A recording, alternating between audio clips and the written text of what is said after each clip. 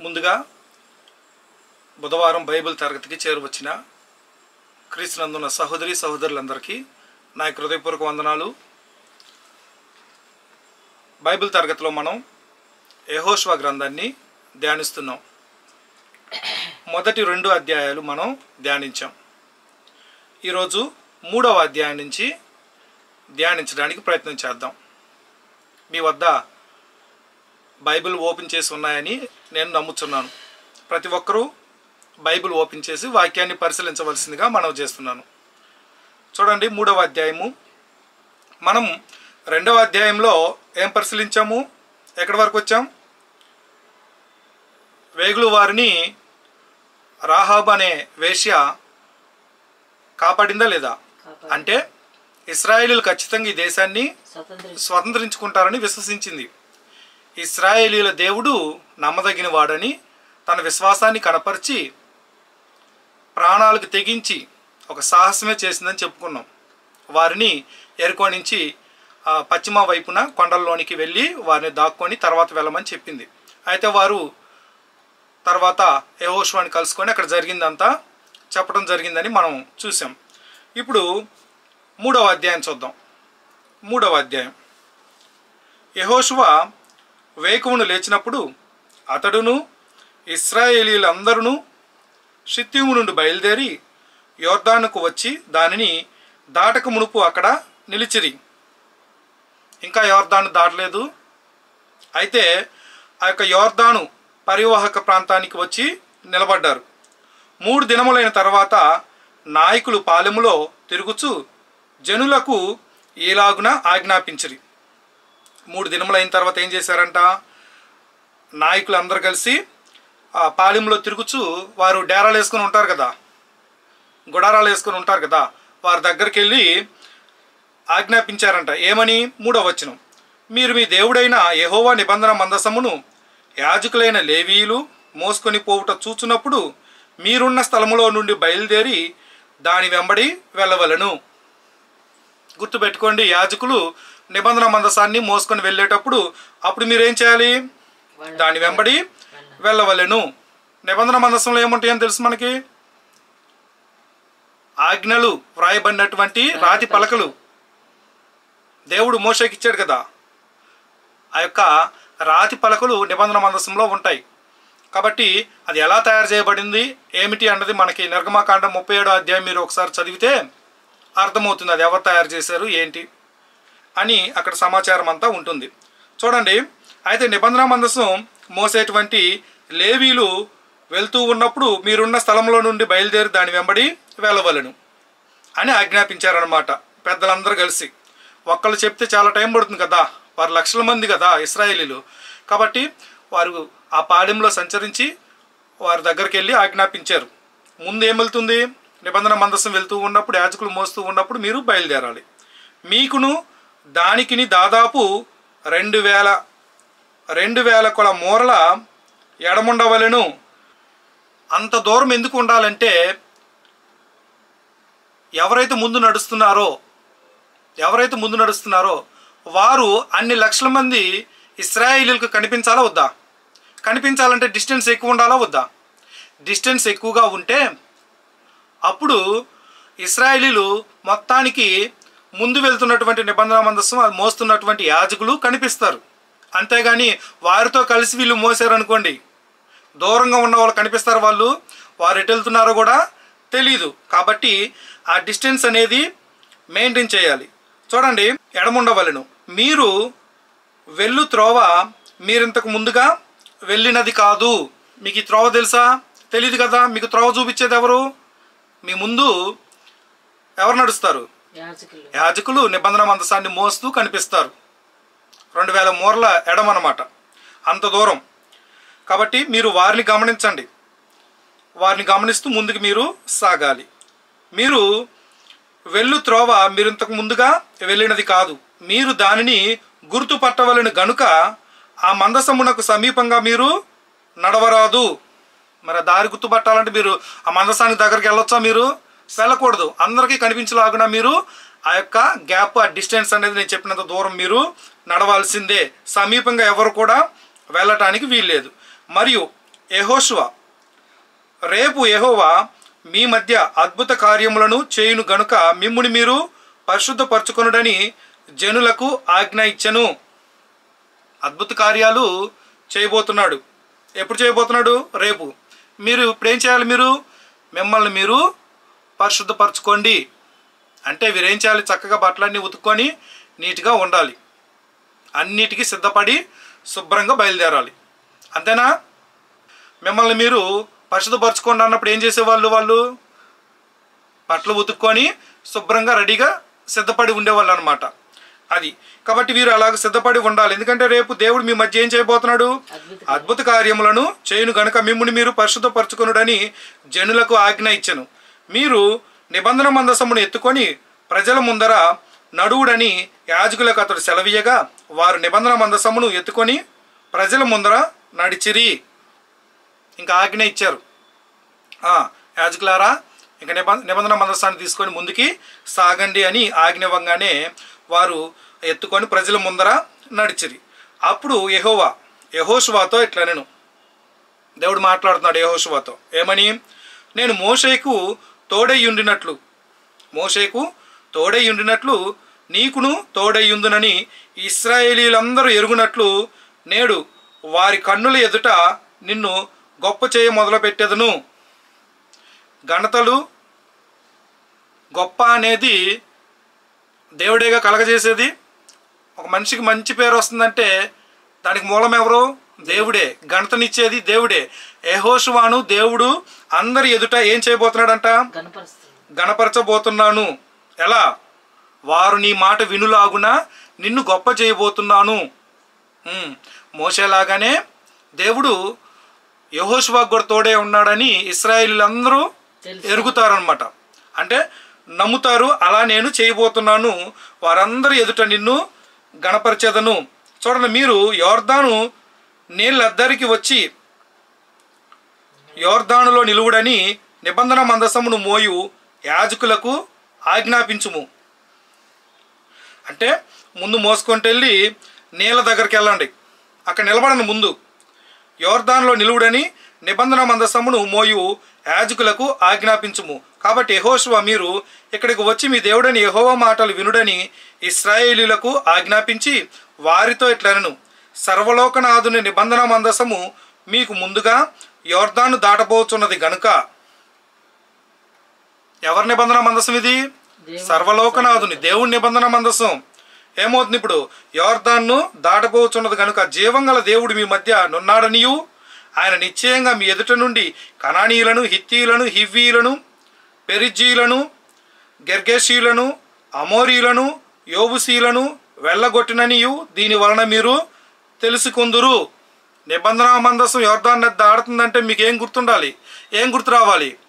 ఖచ్చితంగా మీరు కణాన్ని స్వతంత్రించుకోబోతున్నారు. ఎందుకని నిబంధన మందసం వారి మధ్య ఉన్నది అంటే గుర్తేంటి? దేవుడు వారి మధ్య ఉన్నాడు. ఉన్నాడని. కాబట్టి నిబంధన మందసము యోర్దాన్ దాటబోతుంది. గుర్తుపెట్టుకోండి ఏడు జాతులను వారిని మీరు ఏం చేయాలి? జయించాలి. ఎందుకంటే దేవుడు మీకు తోడుగా ఉన్నాడు. దేవుడు చేసేటువంటి అద్భుత కార్యాలు మీరు చూడబోతున్నారు. మోషేని కూడా దేవుడు గణపరిచినట్లు మోషేని గణపరిచినట్లు ఇక్కడ యెహోషువాకు కూడా గొప్ప చేయబోతున్నాడు. చూడండి. పదకొండవ వచనం. జీవంగల దేవుడు మీ మధ్య నున్నాడనియు ఆయన నిశ్చయంగా మీ ఎదుట నుండి కణానీయులను హిత్తీయులను హివ్వీయులను పెరిజ్జీలను గెర్గాషీలను అమోరీలను యోబుసీలను వెళ్ళగొట్టిననియు దీనివల్ల మీరు తెలుసుకుందరు. కాబట్టి ప్రతి గోత్రమునకు ఒక్కొక్క మనుషుని ఇస్రాయేలీల గోత్రముల నుండి పన్నిద్దరు మనుషులను ఏర్పరచుకొనుడి. పన్నెండు గోత్రాల నుంచి ఒక్కొక్క మనుషుణ్ణి ఏర్పరచుకోండి. పన్నెండు మంది కావాలి. ఏర్పరచుకొని సర్వలోకనాథుడగు యహోవా నిబంధన మందసమును మోయు. యాజకుల అరకాళ్ళు యోర్దాను నీళ్ళను ముట్టగానే యోర్దాను నీళ్ళు అనగా ఎగువ నుండి పారు నీళ్ళు ఆపబడి ఏకరాశిగా నిలుచును. యాజకుల యొక్క పాదాలు నీళ్ళను తాకగానే జరిగేటువంటి అద్భుతం. యోర్దాను నదిలో జరుగుతున్నటువంటి అద్భుతం. ఆ నది దగ్గర ఏం జరుగుతుంది ఇప్పుడు? ఆ యొక్క యాజకులు నిబంధన మందసాన్ని మోస్తూ నీళ్ళని ఎప్పుడైతే వారి పాదాలు తాకినాయో ఏం జరిగిద్దంట?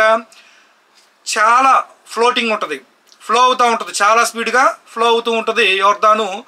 అది కూడా కోతకాలం అనమాట అది. అంటే కరెక్ట్గా బాగా నిండుగా అంటే గట్లు వరకు వచ్చేస్తాయి వాటర్ ఫుల్గా అనమాట కోతకాలం అప్పుడు నీళ్ళు ఫుల్గా వస్తాయి బాగా నిండి. అలాంటప్పుడు వీరు ఆ యొక్క యోర్దాను నీటి ప్రవాహం దగ్గర నిలబడి యాజకులు ముందుకు నడిచేటప్పుడు వారి పాదానికి నీళ్ళు తగలంగానే ఏం జరిగిద్దంట?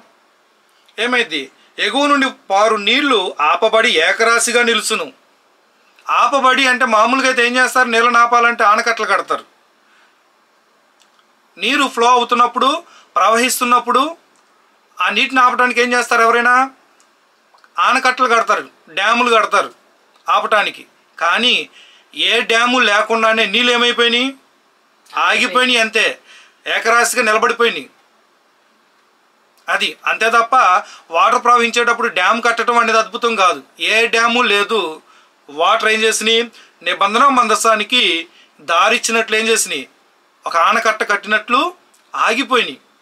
చూసారా ప్రకృతిలో ఉన్నటువంటి ప్రతీది కూడా దేవుని మాటకు లోబడాల్సింది. ఎందుకంటే దేవుడే వాటిని సృష్టించాడు.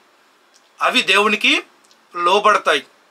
నీళ్ళైన నిప్పైన గాలైన ఏవైనా సరే మీ కంటికి కనిపించేవి కనిపించనివి కూడా దేవుడు ఆజ్ఞాపిస్తే ఆగాల్సిందే.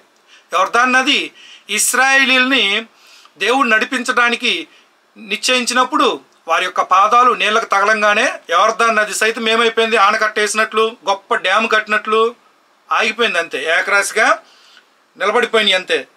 కోతకాలం అంతయు యోర్దాన్ నది కోతకాలం అంతయు యోర్దాను దాని గట్లన్నిటి మీద పొర్లిపారును ఇప్పుడే కానీ నేను మాట్లాడాను అంటే అది ఏ కాలము? కోతకాలము. అంటే వాటర్ ఎక్కువగా ప్రవహిస్తున్నటువంటి సమయం అన్నమాట అది. నిబంధన మందసమును మోయు యాజకులు జనులకు ముందు వెళ్ళగా యోర్దాన్ను దాటుటకై జనులు తమ గుడారంలో నుండి బయలుదేరిరి. ఇదేగా చెప్పింది పెద్దలు? వీరంతా ఏం చేశారు నాయకులు? ఇదే చెప్పారు. నిబంధన మందసము ముందు వెళ్తున్నప్పుడు మీరందరూ బయలుదేరమనే కదా ఆజ్ఞాపించింది. అదే జరిగింది అక్కడ. యోర్దాన్ దాటుటకై జనులు తమ గుడారంలో నుండి బయలుదేరి అప్పుడు ఆ మందసమును మోయువారు యోర్దాన్లో దిగిన తర్వాత. యోర్దాన్లో దిగిన తర్వాత మందసమును మోయు యాజకుల కాళ్ళు నీటి అంచున మునగగానే నీటి అంచున మునగగానే పైనుండి పారు నీళ్ళు బహు దూరమున సారెతాను నొద్దనున్న ఆదామను పురమునకు దగ్గర ఏకరాశిగా నిలిచెను. పైన నిలిచిపోయినాయి. ఎగువ నుంచి వాటర్ వస్తాయి కదా. ఆ ప్రాంతం దగ్గర ఏమైపోయిందంట? ఏకరాశిగా నిలిచాను. మరి ఇస్రాయేలీలు దాడుతుంది వెయ్యి మందా పదివేల మందా? లక్షల మంది కదా. మరి అది ఎంత ప్లేస్ కావాలి వెళ్ళటానికి? కాబట్టి పైన ఉన్న ఎగువ ప్రాంతంలోనే బహు దూరమున ఏమైంది? ఆదామనుపురమునకు దగ్గర ఏకరాశిగా నిలిచెను. లవణ సముద్రమును అరాబా అరాబా సముద్రమునకు పారునని బొత్తిగా ఆపబడెను. సముద్రమునకు పారునని బొత్తిగా బొత్తిగా ఆపబడెను. పూర్తి ఒక చుక్క నీళ్ళు కూడా రావట్లేదంటే అక్కడ ఖచ్చితంగా నేల డ్రై అయిపోయిద్ది అవదా? డ్రై అవ్వాలి. ఎందుకంటే బురద బురదగా చెమ్మ చెమ్మగా ఉంటే నడిచే వాళ్ళు జారుతారా? జారరా? జార్ జారుతారు కదా. చూడండి జనులు ఎరుకో ఎదుటను దాటగా యెహోవా నిబంధన మందసమును మోయు యాజకులు యోర్దాను మధ్య ఆరిన నేలను స్థిరముగా నిలిచిరి. ఎవరు నిలబడగలరు? స్థిరంగా. ఆరిన నేల మీద స్థిరంగా నిలబడగలం. నిబంధన మందసం మోసే వాళ్ళకి ఇబ్బందే కాదా. తడిగా ఉన్నా కానీ అక్కడ వాటర్ ఉన్నా కానీ నడిచే వాళ్ళకి ఇబ్బంది వారు జారిపడే ప్రమాదం ఉంది. కానీ దేవుడు ఏం చేశాడు? నేలను నేల మీద స్థిరంగా నిలబడినట్లు నేలను ఏం చేశాడు? ఆరిపోజేశాడు. జనులందరూ యోర్దాన్ను దాటుట తొదముట్టు వరకు ఇస్రాయేలీలందరూ ఆరిన నేల మీద దాటుచూ వచ్చిరి. ఆరిన నేల మీద అందరు నడుచుకుంటా యోర్దాన్ దాటేంత వరకు జనులందరూ యోర్దాన్ను దాటుట తొదముట్టు వరకు ఇస్రాయేలీలందరూ ఆరిన నేల మీద దాటుచూ వచ్చిరి. అది. కాబట్టి వీరందరూ యోర్దాన్ని దాటేంత వరకు యాజకులు మోస్తున్నటువంటి నిబంధన మందసం ఎక్కడుంది? యోర్దాను మధ్యలో ఉంది. వీళ్ళు రాలా. ఎవరు? యాజకులు నిబంధన మందసాన్ని తీసుకొని యోర్దాన్ దాటలా. యోర్దాను మధ్యలోకి వచ్చి ఆగిపోయారు. ఆగిపోయి వీళ్ళందరూ కూడా యోర్దాను అవతలకు వెళ్ళేంత వరకు కూడా యాజకులు ఎక్కడ స్థిరంగా నిలిచిపోయారు? ఎక్కడ నిలిచారు? యోర్దాను మధ్యలో యోర్దాన్ నది మధ్యలో యాజకులు నిబంధన మందసాన్ని పట్టుకొని అక్కడే ఉండిపోయారు. వెనుకున్న వాళ్ళందరూ ఏమవ్వాలి? దాటి ఎవరిదాన్ని దాటి వెళ్ళిపోవాలి. అవతల వైపుకి వెళ్ళాలి. కాబట్టి ఇప్పుడు చూడండి నాలుగవ అధ్యాయం. జనులందరూ యోర్దాను దాటుట తుదముట్టిన తరువాత యహోవా యహోషువాతో నీలాగు సెలవిచ్చెను. ప్రతి గోత్రమునకు ఒక్కొక్క మనుషుని చొప్పున పన్నెద్దరు మనుషులను ఏర్పరిచి ఆ పన్నెండు గోత్రాల్లో నుంచి పన్నెండు మందిని ఏర్పరచు. యాజకుల కాళ్ళు నిలిచిన స్థలమున యోర్దాను నడుమ నుండి ఎక్కడున్నారు యాజకులు? యోర్దాను నడుమ నుండి పన్నెండు రాళ్ళను తీసి వాటిని యువతలకి తెచ్చి పన్నెండు గోత్రాల నుంచి పన్నెండు మందిని ఏర్పరిచి యాజకులు యోర్దాను మధ్యలో ఉన్నారు. అక్కడికి వెళ్ళండి. అక్కడికి వెళ్ళి అక్కడ పన్నెండు మంది పన్నెండు రాళ్ళను తీసుకోవాలి. పన్నెండు రాళ్ళు అంటే చిన్న చిన్న రాళ్ళ? పెద్ద పెద్ద రాళ్ళు అవి. చూడండి పన్నెండు రాళ్ళను తీసి వాటిని యువతలకు తెచ్చి మీరు ఈ రాత్రి బస చేయి చోట వాటిని నిలువబెట్టుడని వారికి ఆజ్ఞాపించుము. ఎవరిదాన్ని దాటిన తర్వాత అక్కడ వారు ఎక్కడైతే బస్ చేస్తారో అక్కడ ఈ పన్నెండు రాళ్ళు తీసుకురావాలి. ఈ పన్నెండు రాళ్ళు ఎక్కడవి? యోర్దాన్ నదిలోవి. యోర్దాన్ నదిలో నది మధ్యలో నది మధ్యలో నిబంధన మందసం పట్టుకొని యాజకులు ఉన్నారు. అక్కడ పన్నెండు రాళ్ళు తీసుకొని నది అవతల నివసిస్తారు కదా ఇప్పుడు దాటారు కదా అందరూ. అక్కడ నివసిస్తారు కదా అక్కడ తీసుకెళ్ళాలి ఈ పన్నెండు రాళ్ళు అని వారికి ఆజ్ఞాపించుము. కావున యహోశువ ఇస్రాయేలీల్లో సిద్ధపరిచిన పన్నెద్దరు మనుషులను అనగా ప్రతి గోత్రమునకు ఒక్కొక్క మనుషుని పిలిచి పిలిపించి వారితో ఇట్లా నేను యోర్ధాను నడుమనున్న మీ దేవుడని యహోవా మందసము నెదుట దాటిపోయి ఇస్రాయేలీల గోత్రముల లెక్క చొప్పున ప్రతి వాడు ఒక్కొక్క రాతిని తన భుజం మీద పెట్టుకొని తేవలను. వెళ్ళండి యోర్ధాన్ నడుముకి వెళ్ళండి నిబంధన మనసం దగ్గరికి వెళ్ళండి. కాబట్టి ఆ మధ్యలోకి వెళ్ళి పన్నెండు రాళ్ళు తీసుకొని వచ్చి భుజం మీద పెట్టుకొని రండి యువతలకి. ఇక మీదట మీ కుమారులు మీ పిల్లలు పుడతారు కదా ఆల్రెడీ ఉన్న కుమారులు కానీ అలాగే తర్వాత పుట్టిన పిల్లలకు కానీ ఈ రాళ్ళు ఎందుకని అడుగునప్పుడు మీరు యహోవా మందసం ఎదుట యోర్దాను నీళ్ళు ఏకరాశిగా ఆపబడెను. ఇది చెప్పుకోవాల్సింది. దేవుడు చేసిన అద్భుతాన్ని చెప్పండి. ఎలా వచ్చారు కణాన్లోకి ఎలా ప్రవేశించారో మీరైతే కల్లారా చూశారు ఇప్పుడున్న పిల్లలు చూశారు. కానీ తర్వాత వచ్చే తరము మీరు ఎలా వచ్చారని అడిగితే మీరేం చెప్పాలి? ఆ రాళ్ళు చూపించాలి. జ్ఞాపకార్థంగా ఉన్నటువంటి ఆ రాళ్ళు చూపించండి. పన్నెండు రాళ్ళు. ఆ రాళ్ళు చూపించి ఈ రాళ్ళు మేము ఎక్కడి నుంచి తెచ్చామనుకుంటున్నారు? యోర్ధాన్ నది మధ్యలో నుంచి తీసుకొచ్చాం. దేవుడు ఏకరాశిగా యోర్ధాన్ యొక్క ప్రవాహాన్ని ఆపేశాడు. ఆపేస్తే ఆ మధ్యలో నుంచి మేము నడుచుకుంటూ వచ్చాం. ఆ మధ్యలో నుంచి తీసుకొచ్చినటువంటి రాళ్ళు ఇక్కడ మేము ఉంచాము? దేవుడు చేసిన అద్భుతాన్ని జ్ఞాపకం చేసుకుంటానికి అని. అది యోర్ధాను దాటుచుండగా యోర్దాను నీళ్ళు ఆపబడిన గనుక ఈ రాళ్ళు చిరకాలము వరకు ఇస్రాయేలీలకు జ్ఞాపకార్థంగా నునునని వారితో చెప్పవలెను. ఇస్రాయేల్ చిరకాల జ్ఞాపకం. రాళ్ళు చూడగానే ఏం గుర్తు రావాలి? దేవుడు కణాన్లోనికి ఎలా ప్రవేశింపజేశాడు? యోర్దాన్ అనేది అడ్డంగా వచ్చినప్పుడు దేవుడు చేసినటువంటి అద్భుత కార్యం. మీ పిల్లలకి చెప్పండి. దేవుని పట్ల విశ్వాసం కలుగులాగునా? మీరు మీ పిల్లల పిల్లలకి చెబుతూనే ఉండండి. వాటి గురించి వివరించండి. అది మీకు ఆనవాలయుండును. అవి మీకు ఆనవాలు. అవి చూసినప్పుడల్లా చెప్పుకోవాలి అందరూ. జ్ఞాపకం అనమాట రాళ్ళు చూసినప్పుడల్లా దేవుడు గ్రద్ద రెక్కల మీద ఎలాగైతే తీసుకెళ్ళునో దేవుడు వీరిని ఎలాగూ తీసుకొచ్చాడు. చంటి బిడ్డని ఎత్తుకొని తీసుకొచ్చినట్లు తీసుకొచ్చాడు. కాబట్టి ఆ యోర్దాన్ నది చీలిందా? ఎర్ర సముద్రం చీలిందా? ఆరిన నెలన నడిచారా? మీరు అన్నప్పుడు వారికి చూపించాల్సిందేంటి? ఈ ఆనవాళ్ళు చూపించండి.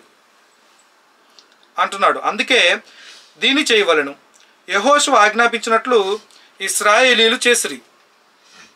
ఇస్రాయేలీలు అలాగే చేశారు. అంటే ఏం చేశారు వెళ్ళి? యోర్దాను నడుముకు వెళ్ళి ఆ పన్నెండు రాళ్ళు తీసుకొచ్చారన్నమాట. యహోవా యహోషువాతో చెప్పినట్లు వారు ఇస్రాయేలీల గోత్రముల లెక్క చొప్పున యోర్దాన్ నడుమ నుండి పన్నెండు రాళ్ళను తీసి తాము బస చేసిన చోటికి తెచ్చి అక్కడ నిలువబెట్టిరి అందరూ యోర్దాన్ దాటేశారు. దాటిన తర్వాత వారు ఎక్కడైతే బస చేశారో అక్కడ వాటిని ఏం చేశారు? నిలువ పెట్టారు. పెద్ద పెద్ద రాళ్ళు అనమాట అవి. అప్పుడు యహోశువ నిబంధన మందసమును మోయు. యాజకుల కాళ్ళు యోర్దాన్ నడుమ నిలిచిన చోట పన్నెండు రాళ్ళను నిలువ పెట్టించను. ఎక్కడ? నిలిచిన చోట. యోర్దాను నడుమ వీరు బస చేసిన చోట అలాగే యోర్దాను నడుమ యాజకులు నిలబడ్డారు కదా. అక్కడ కూడా ఏం చేశారు? నిలిచిన చోట పన్నెండు రాళ్ళను నిలువ పెట్టించను. నేటి వరకు అవి అక్కడ ఉన్నవి. యోర్దాన్ నడుమ మధ్యలో వీరందరూ యోర్దాను దాటి అవతలకు వెళ్ళు వరకు యాజకులు నిబంధన మందసాన్ని మోసి ఎక్కడ నిలబడ్డారు? యోర్దాను మధ్యలో నిలబడ్డారు. అక్కడ కూడా ఏం చేశారు? పన్నెండు రాళ్ళను నిలువ పెట్టారు. నేటి వరకు అక్కడ ఉన్నవి.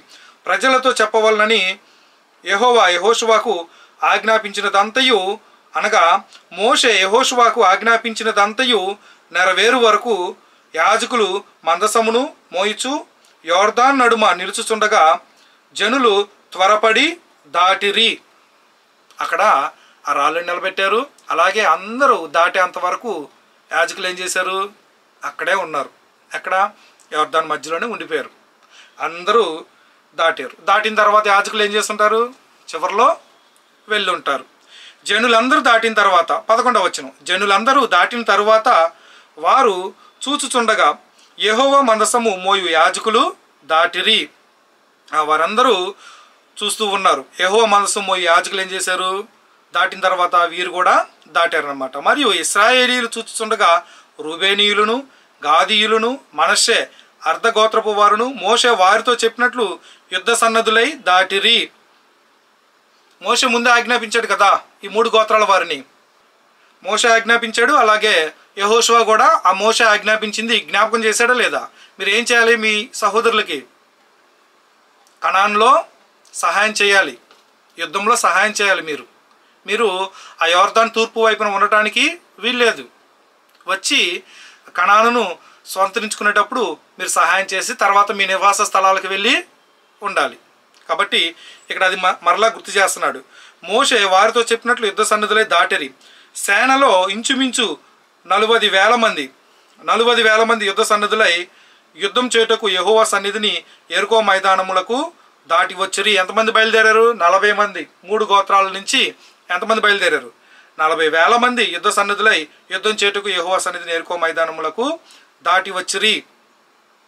సేనలో ఆ దినమున యహోవా ఇస్రాయేలులందరి ఎదుట యెహోషువాను గొప్ప చేశాను గనుక వారు మోషేను గౌరవించినట్లు అతని బ్రతుకు దినములన్నిటను అతని గౌరవ గౌరవపరచిరి. దేవుడు మరి నాయకుడికి గౌరవం ఉండాలి వద్దా? మరి నాయకుడినే గౌరవించకపోతే నాయకుడు మాటకే విలువ లేకపోతే వారు నాయకుడు చెప్పినట్టు లోపడతారా లోపడారు కదా. కాబట్టి ముందు యహోష్వాని దేవుడు గొప్ప చేశాడు. మోషే మాట వినినట్లు యహోష్వా నాయకత్వం కూడా వారు అంగీకరించి లోబడాలి. కాబట్టి యహోష్వాని గొప్ప చేశాడు. దేవుడు తోడుగా ఉన్నాడు అని అలాగే ఆ నాయకుడికి దేవుడికి తోడుగా ఉన్నాడని మీ మధ్య నేనున్నానని దేవుడు తన్ను తాను ఏం చేశాడు? కనపరచు కనపరుచుకున్నాడు ఇస్రాయేలీలకి. కాబట్టి వీరు మోషని గౌరవించినట్లు యహోషువాని కూడా గౌరవించారంట.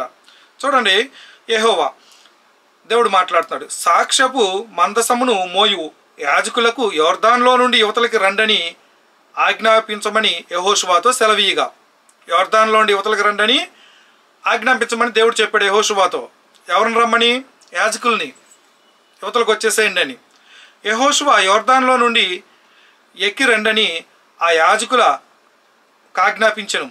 యహోవా నిబంధన మందసమును మోయు యాజకులు యోర్దాను నడుమ నుండి ఎక్కి వచ్చినప్పుడు ఆ యాజకుల అరికాళ్ళు పొడి నేలను నిలవగానే యోర్దాను నీళ్ళు వాటి చోటికి ఎప్పటి వలనే మరలి దాటి గట్లన్నిటి మీద పొర్లిపారెను అంతకుముందు ఎలా ప్రవహించిందో మరలా అలాగే ప్రవహించింది. ఎప్పుడు? యాజకు నిబంధన మనసాన్ని తీసుకొని పొడి నేలకు. అంటే ఆ ప్రవహించే ప్రాంతాన్ని దాటి అవతల వైపుకి వెళ్ళిపోయారు. ఎవరు? యాజకులు. వెళ్ళి పొడి నేల మీద దిగంగానే యోర్దాను ఎప్పటి వలె ఆ యొక్క గట్ల మీద ప్రవహించటం అనేది జరిగింది. యథావిధిగా మరలా ప్రవహించటం మొదలుపెట్టింది. చూడండి దాని గట్లన్నిటి మీద పొర్లిపారెను పంతొమ్మిదో వచ్చిన మొదటి నెల పదవ తేదీన జనులు యోర్ధాన్లో నుండి ఎక్కి వచ్చి ఎరుకో తూర్పు ప్రాంతమందలి గిల్గాలులో దిగగా. ఈసారి ఎరుకో తూర్పు అంతకుముందు యోర్దాన్ తూర్పు అనేవాళ్ళం కదా. ఇప్పుడు యోర్దాన్ దాటారు కదా. యోర్దాన్ దాటిన తర్వాత ఇప్పుడు ఎరుకోకి ఎక్కడున్నారు వీరు? తూర్పున ఎరుకోకు తూర్పు అనాలి. అంటే ఎరుకో పట్టణానికి తూర్పున ఉన్నారన్నమాట. ఏముంది అక్కడ తూర్పు తూర్పు ప్రాంతం అందలి గిల్గాలులో దిగగా. వారు యోర్దానులో నుండి తెచ్చిన పన్నెండు రాళ్ళను యహోషువ గిల్గాలులో నిలువబెట్టించి ముందే ఆజ్ఞాపించారు కదా ఆ రాళ్ళు తీసుకొచ్చి మీరు ఎక్కడైతే నివసిస్తారో యోర్ధాన్ దాటిన తర్వాత అక్కడ పన్నెండు రాళ్ళను నిలబెట్టాలి కదా. వీరు ఇప్పుడు బస చేస్తున్నటువంటి ప్రాంతం పేరేంటి? గిల్గాలులో. వారు అక్కడ ఆగారు కదా. కాబట్టి అక్కడ ఉండాలనుకున్నారు. ఆ గిల్గాలులో ఏం చేశారు వీరు? ఆ పన్నెండు రాళ్ళను తీసుకొచ్చి నిలువ పెట్టించి ఇస్రాయేలీలతో ఇట్లా నేను? రాబోవు కాలమున మీ సంతతి వారు ఈ రాళ్ళు ఎందుకని తమ తండ్రులను అడుగుదురు కదరా? అడుగుదురు కదా? మీ తండ్రులను అడుగుతారు. అడిగినప్పుడు మీరేం చేయాలి? తమ తండ్రులను అడిగినప్పుడు ఆ యొక్క పిల్లలకి తెలియదు కాబట్టి. ఏం చేయాలి? అప్పుడు మీరు ఇస్రాయేలీలు ఆరి నేల మీద ఈ యోర్దాన్ని దాటిరి ఎట్లనగా యహోవ బాహు బలమైనది అని భూనివాసులందరూ తెలుసుకున్నటకును తెలుసుకొనుటకును మీరు ఎల్లప్పుడూ మీ దేవుడైన యహోవా ఎందు భయభక్తులు నిలుపుటకును మేము దాటు వరకు మీ దేవుడైన యహోవ తానే మా ఎదుట ఎర్ర సముద్రమును ఎండజేసినట్లు మీరు దాటు వరకు మీ ఎదుట యోర్దాన్ నేలను ఎండజేసినని చెప్పి ఈ సంగతి వారికి తెలియపరచవలను. మీరు చెప్పాలి ఏంటి రాళ్ళు ఏంటి అని అడిగినప్పుడు ఆ రాళ్ళు యోర్దాన్లో ప్రవేశించడానికి కాదు. యోర్దాను ద్వారా ఏరుకోలో ప్రవేశించడానికి యోర్దాను వద్ద దేవుడు చేసినటువంటి ఆ అద్భుత కార్యాన్ని మీ బిడ్డలకు చెప్పండి మీ కుమారులకు చెప్పండి. దేవుడు అబ్రహాంతో చేసినటువంటి ఆ యొక్క ప్రామిస్ అబ్రహా అబ్రహాంతో చేసినటువంటి ప్రామిస్ ఏంటది? కనాన్ దేశాన్ని ఇస్తాను. మీ సంతతికి అని కదా? అబ్రహాముకి కాదు ఇస్తానంది అబ్రహాము సంతతికి ఇస్తానని కాబట్టి ఆ వాగ్దానాన్ని దేవుడు నెరవేర్చుకోవటానికి తన పని చేయటానికి ఇస్రాయేలీలతో ఎలా వ్యవహరించాడు? అద్భుత కార్యాలతోనూ సూచిక్రియలతోనూ వారిని బలపరచటానికి దేవునిపై విశ్వాసం ఉంచడానికి నమ్మిక ఉంచడానికి దేవుడు అనేకమైన అద్భుతాలు సూచిక్రియలు అనేది చేయటం జరిగింది. కాబట్టి దేవుడు తన పని చేయి చేస్తానని చెప్పిన తర్వాత చేయకుండా ఉంటాడా? చేస్తాడు కదా? కాబట్టి ఏమని తెలుసుకోవాలి ఇస్రాయేలీలు? దేవుడు ఇస్రాయేలీలతో ఏం చేశాడు? తన యొక్క వాగ్దానాన్ని నెరవేర్చుకున్నాడు. తన పని చేస్తానన్న పని చేసి తన మాట నిలబెట్టుకున్నాడు. అటువంటి దేవుడు. విడువడు ఎడబాయుడు. మీరేం చేయాలి? ఆయన యొక్క ఆజ్ఞలు పాటించాలి. ఆ యొక్క నిబంధనలో మీరు కొనసాగాలి. కొనసాగితే దేవుడు ఏం చేస్తాడు? కనాన్ దేశాన్ని వీరికి దయచేస్తాడు. కాబట్టి దేవుడు వారికి చేసినటువంటి మేలులు సూచక్రియలు వారికి జ్ఞాపకార్థంగా ఆ రాళ్ళు నిలబెడితే మరి మనకంటూ ఏ జ్ఞాపకం లేదా? క్రీస్తునందున్న మనకి ఏ జ్ఞాపకాలు ఉన్నాయి ఇప్పుడు? క్రీస్తు యొక్క మరణ పునరుద్ధానాన్ని ప్రతి ఆదివారం మనం జ్ఞాపకం జ్ఞాపకం చేసుకోవాలి. ఆ జ్ఞాపకం చేసుకున్నప్పుడు మనము పాపము అనే దాస్యం నుంచి ఎలా విడిపించబడ్డాము? యేసుక్రీస్తు ద్వారా దేవుడు చేసినటువంటి మేలులు అన్నీ తలపోసుకోవాలి. ఇస్రాయేలీలు ఆ యొక్క బానిసత్వం నుంచి ఎలా విడిపించబడ్డారు? దేవుడు వారితో కలిసి వారిలో ఉంటూ వారి ముందుండి ఎలా నడిపించాడో? అవన్నీ వారు జ్ఞాపకం చేసుకుని తన పిల్లలకు చెప్పాలి.